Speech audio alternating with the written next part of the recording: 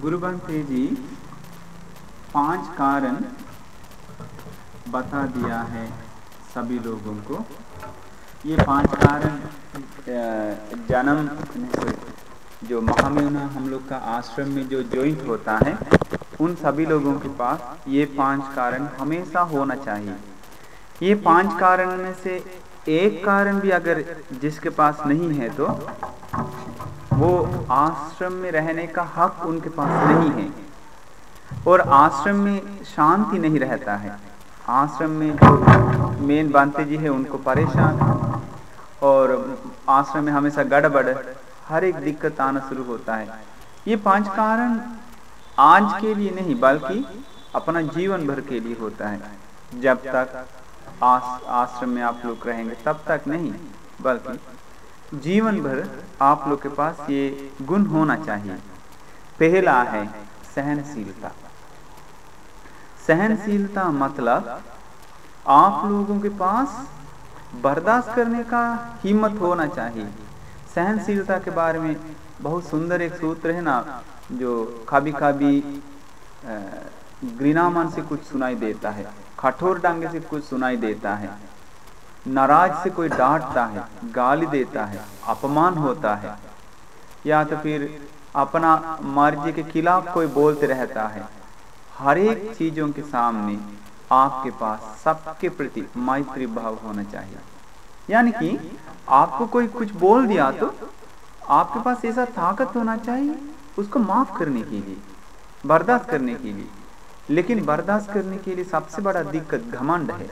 घमंड आते ही ये छोटा है थानी को हमको ये क्यों सिखा रहा है? अगर अभी इसको कंट्रोल नहीं किया तो भविष्य में हम हम, हमारा सिर पे हाथ धोएगा अलग अलग प्रकार के नीच विचार आता है घमंड के चलते।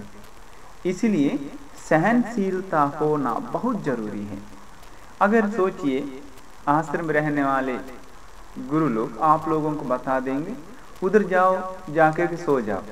सोचे, आप लोग को बताया, स्टोर रूम में जाके सोने के लिए। आप लोग के पास ऐसा सहनशीलता होना चाहिए, ठंडा को बर्दाश्त करके वहाँ रह सके। ऐसा होना चाहिए। तो सहनशीलता बिल्कुल बहुत लोग के पास नहीं है। सहनशीलता जहाँ नहीं है, वहाँ गड़बड़ ही है।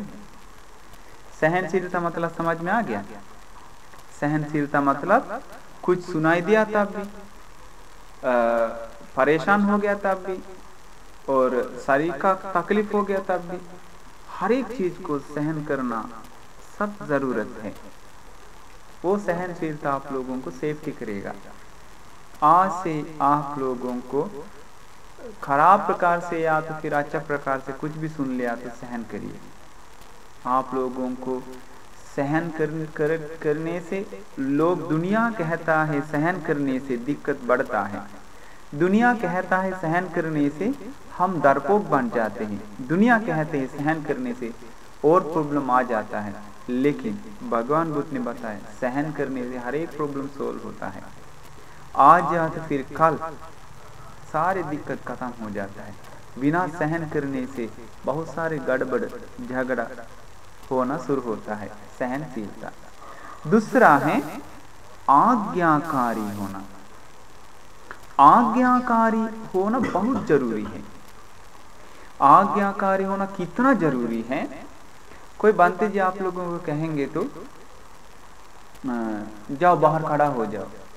इतना आपके पास नम्रता होना चाहिए, आज्ञाकारी होना चाहिए आप खड़ा होने के लिए।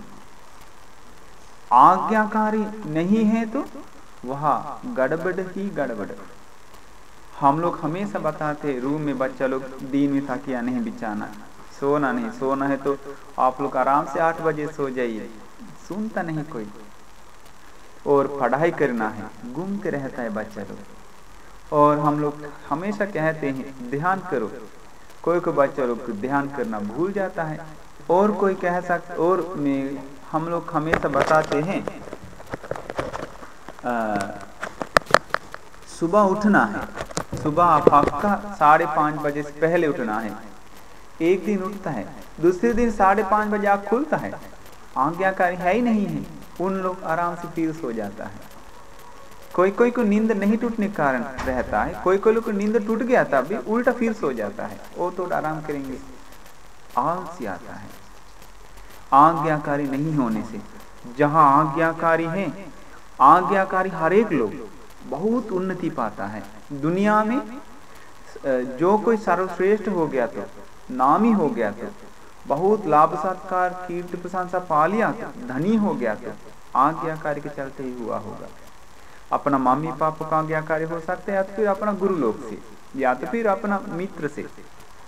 आज्ञा जिसके अंदर में आप रहता है आज्ञाकारी होना बहुत ज़रूरी है। आज्ञाकारी जहाँ नहीं, वहाँ झगड़ा है, अशांति है, कोई ना कोई दिक्कत।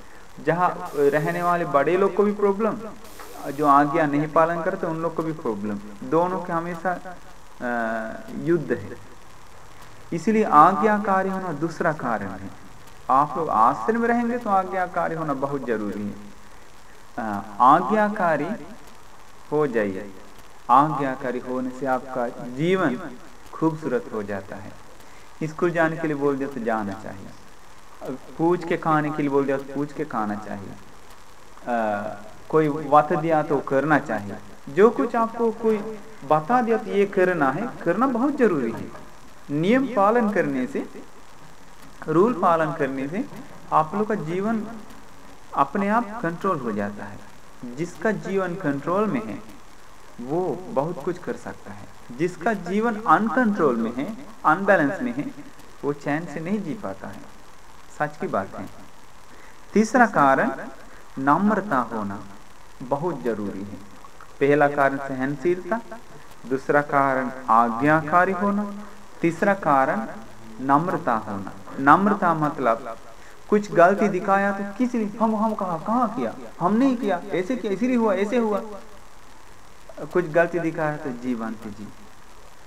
माफ़ कीजिए, वो गलती हो गया मुझसे। वो गलती मांगते ही, माफ़ी मांगते ही उसका अंदर गुणधर्म बढ़ता है। कोई कोई लोग इतना घमंड है। कोई गलती हो गई तो माफ़ी मांगने में शर्म लगता है। छोटा बच्चा लोग से माफ़ी माँगता ही नहीं कोई बड़ा बच्चा लोग। सोचता है हम इसे माफ़ी मांग लिया तो हम इसके अंदर इस, इसके सामने छोटा हो जाता है। असलियत में वो छोटा है जो घमंड में रहता है। इसलिए नम्र हो जाए नम्र होना मतलब भगवान बुद्ध की रास्ता पे आप लोग है या नहीं? उसको पहचानने का एक चिन्ह है। खेत में धान उगता है वो धान पाकते पाकते बड़ा होते होते धान भार के कारण झुक जाता है ना। ऐसे होता है, बड़ा होते होते। नकली धान होता है, उसके अंदर चावल नहीं है। ऐसा धान है ना खेत में। बड़ा होते तो वैसे ही रहता है, सीधा रहता है। जिसके अंदर चावल है, वो झुक जाता है बाहर के कारण। वैसे ही है, भगवान बुद्ध की रास्ता पे जाते जाते जिसके पास नम्रता नहीं है, घमंड अहंकार है। उन लोग बड़ा होते होते कभी थोड़ा मुस्कुराता भी नहीं। धीरे धीरे और घमंड होता है। दूसरों को कंट्रोल करने जा रहा है, दूसरों को सिखाने जा अपना खुद रास्ता पे नहीं है, दूसरों को सिखाने जा रहा है। बदमाश है। अंदर एम्प्टी कुछ नहीं है। कोई कोई कैसा नहीं, बड़ा होते तो चुप जाता है। भले ही दूसरों को डांटता होगा, लेकिन खुद भी सही रास्ता पे रहने के लिए कोशिश करता है। दूसरों का भी कल्याण करता है। और छोटा बच्चा कोई गलती दिखाया तो मान लेता है। हमसे गलती होगी, आप नहीं करेंगे। एक गलती हो गया तो द्वारा वो गलती होने नहीं देता है। वो ऐसा मेहनत करता है। वो नम्रता जिनके पास है, उन लोग सिर्फ़ ये कर सकता है। चौथा, बड़े लोगों को इज़्ज़त करना। बड़े लोगों को इज़्ज़त करना बहुत ज़रूरी है। बड़े लोगों को नाम से नहीं पुकारा जाता है। बड़े लोगों को भैया कह सकता है, दीदी कह सकता है। या तो फिर बड़े लोग को इज़्ज़त करना सिर्फ़ आश्रम का बात नहीं है, घर पे भी, स्कूल में भी। हर जगह बड़े लोगों को इज़्ज़त करना बहुत ज़रूरी है। जहाँ बड़े लोगों की इज़्ज़त नहीं किया जाता है, वो टेढ़ा आदमी है। उसका हाथ से हमेशा गलती होने का संभावना ज़्यादा है। इसलिए आश्रम में है तो आपके साथ उम्र से कोई बड़ा है तो उसको इज़्ज़त करना चाहिए, इज़्ज़त इज़्ज़त से बात करना है। और कोई गलती करे तो गलती दिखाना अलग बात। इसके बाद सभी बच्चा से बड़ा है, बनते जी लोग। चीवर पहने हुए हैं। उन लोग का आज्ञाकारी सबसे ज़्यादा ज़रूरत है। उन लोग को इज़्ज़त करना। आज्ञाकारी पहले बताए, अब इज़्ज़त करना। और उनसे भी ज़्यादा जो मेन बांते जी हैं। मेन बांते जी को सबसे ज़्यादा इज़्ज़त करना चाहे, उनसे भी बढ़कर गुरु बांते जी हैं। गुरु बांते जी को सबसे ज़्यादा इज़्ज़त करना बहुत ज़रूरी है। गौरव के साथ सत्कार, सम्मान करना बहुत ज़रूरी है। तो आप लोग आश्रम में रह के अपने से बड़े लोग के साथ मुँह लगाने जाएगा तो बांते जी लोग के साथ मुँह लगाने जाएगा तो उसका भविष्य नहीं, लापता है। लगता है कौन सा पेट से निकल गया वो पता नहीं। उसका मम्मी पापा कैसा है पता नहीं। मम्मी पापा बेइज्जती होते, किसका बच्चा है? तेरा बच्चा है। गाली देते लोग, अपमान करते दुनिया। इसीलिए बड़े लोग को इज़्ज़त करने का आदत हर एक बच्चा के पास होना अनिवार्य है। वो हम लोगों का महामहिन आश्रम का रूल है। अंतिम कारण प्रज्ञा।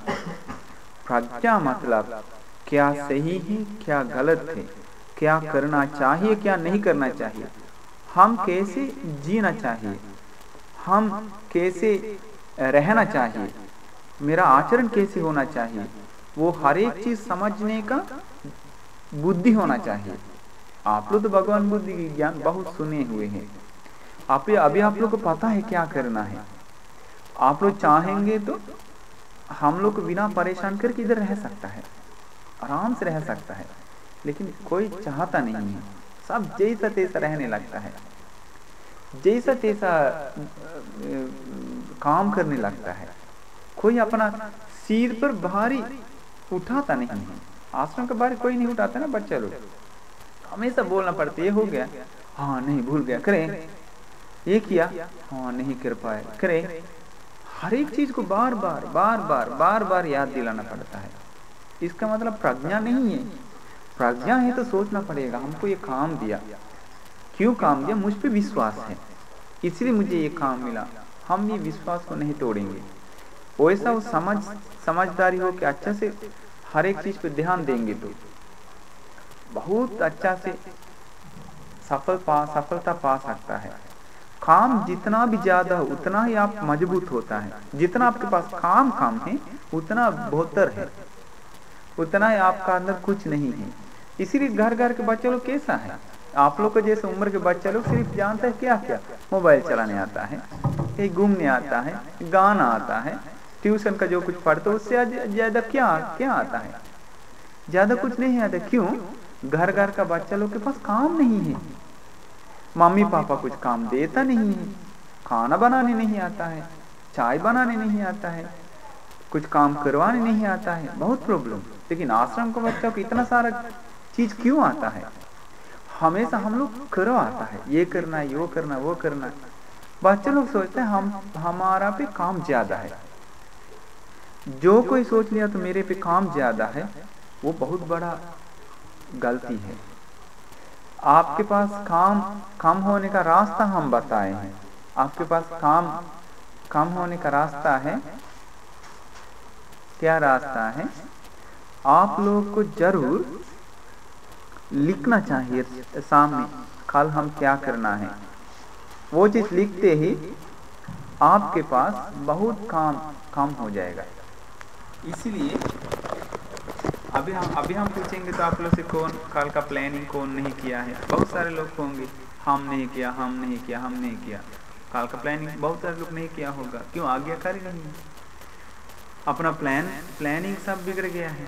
इसीलिए वो चीज़ भी याद रखिए, वो पाँच कारण प्रज्ञा होना बहुत ज़रूरी है।